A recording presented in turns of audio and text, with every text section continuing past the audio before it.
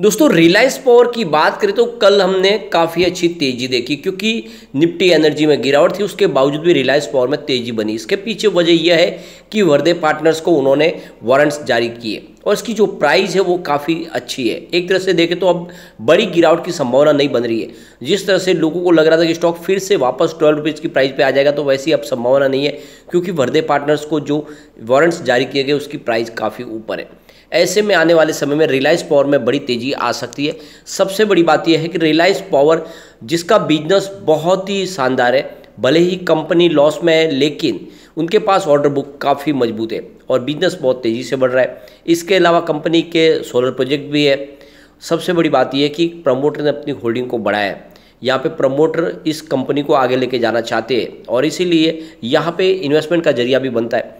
तो बहुत सारी बातें जिसको इस वीडियो के माध्यम से डिस्कस करेंगे। एक बहुत बड़ी गुड न्यूज़ निकल के आ रही है थर्मल पावर प्लांट के लिए। आने वाले समय में थर्मल पावर प्लांट का भविष्य उज्जवल हो सकता है, ये रिपोर्ट कह रही है। और आने वाले समय अगर आप किसी थर्मल पावर प्लांट की कंपनी में इन्वेस्टमेंट करते हो तो आपका इन्वेस्टमेंट कई गुना बढ़ सकता है।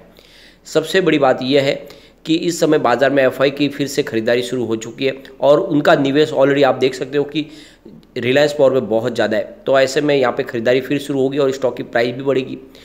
और कम समय में जिस तरह से एक महीने में ही आपने देखा होगा ट्वेल्व रुपीज़ का स्टॉक ट्वेंटी फाइव तक चला गया था, वैसी संभावना फिर बन सकती है। तो इन सारी बातों को जानेंगे इस वीडियो के माध्यम से। सबसे पहले, अगर हम निफ्टी एनर्जी की बात करें तो twenty five thousand nine hundred seven के स्तर पे क्लोजिंग थी, जहाँ पे हमने करीब पॉइंट सिक्स परसेंट की गिरावट देखी। तो निफ्टी एनर्जी में गिरावट थी, उसके बावजूद भी काफ़ी अच्छी तेज़ी हमने रिलायंस पावर में देखी है। आप देख सकते हो रिलायंस पावर 16.45 पर क्लोजिंग दी है, जहाँ पे हमने 2.17 परसेंट की तेज़ी देखी है। यहाँ पे इसकी परफॉर्मेंस अगर हम देखें तो 10.95 इसका 52 वीक का लो है और 25 इसका 52 वीक आई है जो रिसेंटली इसने बनाया था, फ़िलहाल स्टॉक 16 के आसपास है तो काफ़ी ज़्यादा करेक्शन हो चुका है। एक तरह से देखें तो यहाँ पे एंट्री की जा सकती है। जैसे कि आपको पता ही होगा, वर्दे पार्टनर्स ने एक बड़ा इन्वेस्टमेंट किया है रिलायंस पावर में। रिलायंस पावर को फंड की ज़रूरत थी और उन्होंने वर्दे पार्टनर से पैसे लिए। इसके बदले में उनको इक्विटी और वारंट्स जारी किए गए। तो जो वारंट्स जारी किए गए, उसकी जो प्राइस है वो 15.55 की है। तो एक तरह से अगर आप देखें तो ये बेस्ट प्राइस बन चुकी है। अब इससे नीचे गिरावट की संभावना कम है, क्योंकि एक तरह से इसकी प्राइस ये डिसाइड की गई है और इसकी वैल्यूशन निकाली गई है। वो साढ़े पंद्रह से ऊपर है, जो एक अच्छी बात है। और ये जो वारंट्स जारी किए गए, ये आगे जाके इक्विटी में तब्दील किए जा सकते हैं।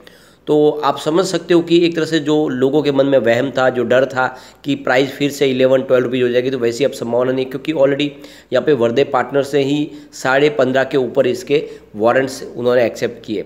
तो ऐसे में इसकी प्राइस के लिए हमें डरने की ज़रूरत है, साढ़े सोलह के आसपास स्टॉक है तो लगभग नीचे की तरफ़ ही है। आने वाले समय में इसकी प्राइस बढ़ सकती है। इसके रिटर्न को अगर हम देखें तो पिछले पाँच साल के हिसाब से इसने 58 परसेंट का निगेटिव रिटर्न दिया है। लेकिन थ्री ईयर के हिसाब से सिक्स हंड्रेड टेन परसेंट का ज़बरदस्त पॉजिटिव रिटर्न मिला है। वन ईयर के हिसाब से थ्री परसेंट की हमने तेज़ी देखी है। थ्री मंथ के हिसाब से thirty seven percent positive return दिया स्टॉक ने। लेकिन वन मंथ के हिसाब से तो फाइव परसेंट ऑलरेडी गिर चुका है। वन डे के हिसाब से वापस डेढ़ परसेंट की तेज़ी है। तो ये आप देख सकते हो कि कोविड काल में स्टॉक एक रुपये के आसपास था। वहाँ से जो दौड़ा तो बहुत ही ज़बरदस्त उन्नीस रुपये तक जाके आए। बहुत ही ज़बरदस्त रिटर्न दिया लोगों को इसने एक तरह से, ये जैकपॉट साबित हुआ लोगों के लिए। अब यहाँ पे एक बड़ी अपडेट निकल के आ रही है। जैसे कि अब पावर कंजम्पशन लगातार बढ़ने लगा है और जो कोविड के पहले की जो सिचुएशन थी वो आ चुकी है। यानी पटरी पे आ चुकी है ज़िंदगी। और ऐसे में इलेक्ट्रिसिटी का जो कंजम्पशन लगातार बढ़ रहा है, उसको पूरा करने के लिए फ़िलहाल जो एक ही ज़रिया वो है थर्मल पावर प्लांट क्योंकि ग्रीन एनर्जी के जो सोर्सेज है, उसकी काफ़ी ज़्यादा लिमिट है। और इस हिसाब से देखें तो थर्मल पावर प्लांट और हाइड्रो पावर प्लांट के माध्यम से ही बिजली का जो उत्पादन हो रहा है, उसका इस्तेमाल किया जा रहा है। तो आप देख सकते हो कि फ़िलहाल थर्मल पावर प्लांट लाइमलाइट में आ चुके हैं। हाइड्रो पावर की बात करें तो इसके लिए जो इलेक्ट्रिसिटी जनरेशन है, उसका वो सीजनेबल है और इस वजह से उसमें थोड़ी सी लिमिटेशन है। इसके अलावा गैस बेस्ड जो जनरेशन है वो नेचुरल गैस की प्राइस की वजह से भी इफ़ेक्ट हो जाता है। वहाँ पे अगर प्राइस बढ़ेगी तो उसका हमें निगेटिव इफ़ेक्ट देखने को मिलता है, उसकी वजह से प्रॉब्लम आती है। लेकिन थर्मल पावर प्लांट से 24 फोर आवर्स बिजली का उत्पादन हो सकता है। और इसीलिए इसी को एक तरह से देखो, मुख्य ज़रिया फ़िलहाल बनता है जिस तरह से इलेक्ट्रिसिटी की डिमांड बढ़ रही है, उसको पूरा थर्मल पावर प्लांट ही करेगा। H D F C securities के रिसर्च एनालिस्ट अनुज उपाध्याय का कहना है कि आने वाले तीन चार साल तक थर्मल पावर प्लांट की कोई भी तरह की कोई प्रॉब्लम आने की संभावना नहीं है। थर्मल पावर प्लांट के माध्यम से ही बिजली का उत्पादन होगा, क्योंकि फ़िलहाल जो बैटरी स्टोरेज की जो कैपेसिटी अभी तक उसको इंस्टॉल नहीं कर पाए, अभी तक बैटरी स्टोरेज की जब तक व्यवस्था नहीं की जाएगी तो रिजनेबल एनर्जी के जो सोर्सेज है वो काम नहीं कर पाएँगे, यानी जब तक स्टोरेज की व्यवस्था नहीं होगी, इसके लिए कम से कम तीन से चार साल का समय लग जाएगा। तब तक जो भी मुख्य स्रोत है, वो सिर्फ़ थर्मल पावर प्लांट ही है और इसी के ऊपर बिजली का सारा उत्पादन अभी फ़िलहाल तो डिपेंडेड है। तो ऐसे में आप समझ सकते हो कि आने वाले तीन से चार साल तक तो थर्मल पावर प्लांट का भविष्य काफ़ी ज़्यादा ब्राइट दिखाई दे रहा है। सबसे बड़ी बात यह है कि इस बार जो इलेक्ट्रिसिटी डिमांड है, उसमें 11.9 परसेंट की जंप देखने को मिल रही है। तो यहाँ पे जो इलेक्ट्रिसिटी डिमांड बढ़ रही है, उसको पूरा करने के लिए फ़िलहाल कोल बेस्ड पावर प्लांट ही मुख्य ज़रिया बने हुए तो ऐसे में जैसे इलेक्ट्रिसिटी की डिमांड बढ़ रही है, उसको कोल बेस्ड पावर प्लांट के माध्यम से ही पूरा किया जा रहा है और ये लगातार डिमांड बढ़ रही है। उस वजह से आने वाले समय में भी सरकार कोल बेस्ड पावर प्लांट को बंद करने की कोई संभावना नहीं है।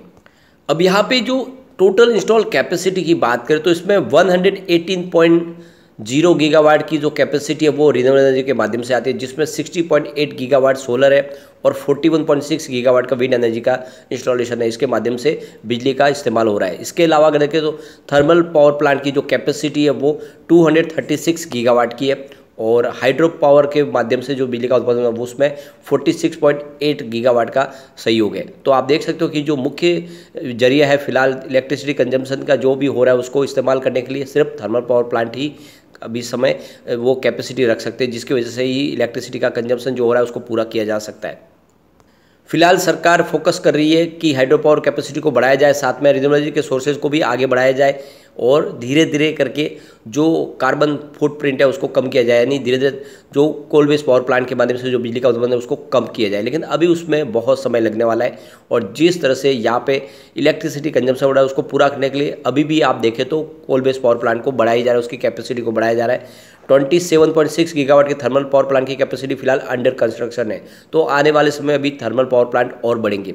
दूसरी तरफ़ अगर आप देखें तो जो नए प्राइवेट प्लेयर है, वो प्राइवेट प्लेयर किसी भी कंपनी में अब नया इन्वेस्टमेंट नहीं करे, बल्कि जो कंपनी या तो लॉस में चल रही है या फिर एनसीएल के उसके ऊपर कार्रवाई हो रही है कंपनी डूब चुकी है, ऐसी पावर प्लांट की कंपनियों को एक्वायर कर रहे हैं। इससे पहले भी अगर आप देखें तो अदानी ग्रुप ने एक्वायर किया था। तो इस तरह से अगर आप देखें तो वो नए पावर प्लांट इस्टाब्लिश करने की बजाय जो पुरानी कंपनियाँ जो फ़िलहाल लॉस में चल रही है, उनको खरीदने की कोशिश कर रही है। और बिज़नेस उसी हिसाब से आगे बढ़ रहा है। तो थर्मल पावर प्लांट का जो भविष्य है, काफ़ी उज्जवल लग रहा है। यहाँ पे देखें तो क्वार्टर टू की अभी संभावना बन रही है, उसके पहले अगर हम देखें तो कंपनी का लगातार रिवेन्यू आपको थोड़ा सा कम होता हुआ दिखाई देगा, जो एक तरह से देखें तो कंपनी के लिए टेंशन क्रिएट करने वाली बात है। 2018 में जो इनका रिवेन्यू था, वो nine thousand five hundred ninety two rupees का था, जो 2022 तक कम होते हुए seven thousand five hundred three rupees तक आया। लेकिन अब लग रहा है कि फिर से इस बार आंकड़े उत्साहवर्धक हो सकते हैं। कंपनी के प्रॉफिट लॉस की बात करें तो 2018 में कंपनी को एट हंड्रेड का बड़ा प्रॉफिट था। और 2020 में कंपनी को भारी नुकसान हुआ था जब कोविड काल में करीब four thousand two hundred fifty five crore का बड़ा लॉस हुआ। लेकिन फ़िलहाल 2021 में कंपनी फिर से प्रॉफिट में भी आई थी, लेकिन 2022 में कंपनी को फिर से 565 करोड़ का लॉस हुआ। अब लग रहा है कि इस बार कुछ रिज़ल्ट शानदार रह सकता है। यहाँ पे सबसे अच्छी बात यह है कि जहाँ पे आप देख सकते हो, जून 2021 में प्रमोटर की होल्डिंग मात्र 9.06 परसेंट थी। वो प्रमोटर ने बढ़ा के उसको 24.98 परसेंट पर लाया तो प्रमोटर ने अपनी होल्डिंग को बढ़ाया ये एक तरह से बहुत बड़ा पॉजिटिव ट्रिगर है। अब यहाँ पे सबसे जो शानदार आंकड़ा है वो है एफआई का। एफआई लगातार इन्वेस्टमेंट कर रहे हैं, यहाँ पे रिलायंस पावर में। जून 2021 में उनकी होल्डिंग 1.78 परसेंट की थी। जो लगातार बढ़ते हुए आप देख सकते हो, जून 2022 में 7.79 परसेंट तक आ गई और हर क्वार्टर में यहाँ पे एफआई ने होल्डिंग को बढ़ाया और इसीलिए इस स्टॉक में भरोसा करना चाहिए। और पिछले दो ट्रेडिंग सेशन से देखें तो यहाँ पे एफआई फिर से बाज़ार में खरीदारी शुरू कर चुके हैं। तो ऐसे में रिलायंस पावर में तेज़ी आनी लाजमी है। यहाँ पे डीआई की बात करूँ, उनकी होल्डिंग थोड़ी सी कम होती हुई दिखाई देगी आपको। यानी जून 2021 में उनकी 4.26 परसेंट की होल्डिंग थी, जो फ़िलहाल जून 2020 बाईस की बात करें थ्री पॉइंट फाइव परसेंट जो पिछले चार क्वार्टर से अनचेंज है। यहाँ पे जनरल पब्लिक की बात करें, उनकी होल्डिंग भी आपको कम होती हुई दिखाई देगी। जून 2021 में जहाँ पे 84.90 परसेंट की होल्डिंग थी, जो फ़िलहाल 63.72 परसेंट की होल्डिंग है।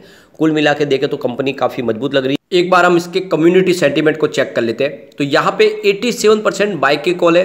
13 परसेंट सेल की कॉल है। यानी 100 में से 87 परसेंट लोग इसको लेना पसंद कर रहे हैं, जो एक तरह से बहुत ही अच्छी बात है, लोगों का रुझान स्टॉक की तरफ़ बना हुआ है।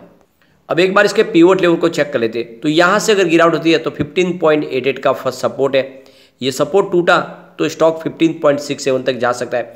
और यहाँ पर भी स्टॉक नहीं रुका तो फिर 15.38 तक जा सकता है। तो जैसे कि अगर आप देखें तो वर्दे पार्टनर्स को 15.5 की प्राइस से स्टॉक ऑलरेडी उनको वारंट्स जारी किए गए। तो ऐसे में बड़ी गिरावट की संभावना नहीं है। स्टॉक आपको साढ़े पंद्रह से नीचे ज़्यादा हुआ, बहुत कम चांस में दिखाई देगा।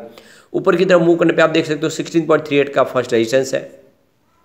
तो ये तो ऑलरेडी ब्रेक हो चुका है, क्योंकि प्राइस 16.45 पे आई। सेकंड रेजिस्टेंस निकल के आ रहा है, वो 16.67 का है।